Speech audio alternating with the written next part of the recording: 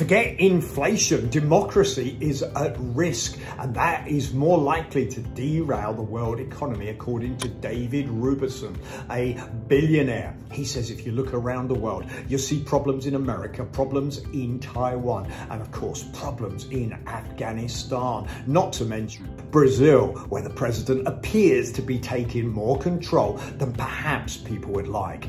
51% of Americans believe that an election will take place in the future and it will be reversed by elected officials because they don't like the result. Imagine that 51% in the country that's said to be the greatest democracy in the world. Americans are losing faith in democracy. And of course, we've seen what's happened when the Taliban have taken over Afghanistan and China are threatening to take over Taiwan. Sent their air force into Taiwan territory. And again, perhaps that could cause a massive issue in Asia with Australia and the US reacting. Okay, should we be worried about inflation? Because inflation is occurring. Okay, what I would say is it's always something to be concerned about. Long-term investments work out, but certainly right now we need to be concerned about democracy and people need to be making sure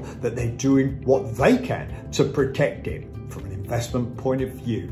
There's nowhere else to go except invest into good companies. Okay, but I'd always say diversify, be cautious, seek advice, get to talk to the top financial advisors so they can show you the right places to invest your money, to increase your security and make sure that you've got wealth for the future. Retire the way you want to. Have the choice in life to do the things that you want to because you've accumulated capital. Hit subscribe, hit like. I'll share my thoughts on a regular basis on what's happening in the world, in the investment market, what it takes to be successful in life.